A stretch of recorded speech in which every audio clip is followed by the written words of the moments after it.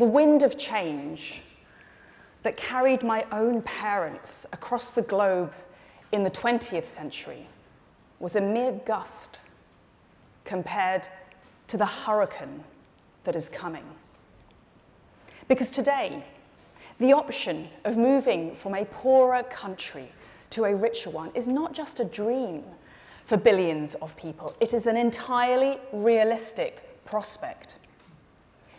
Every human, every single person has the right to aspire to a better life.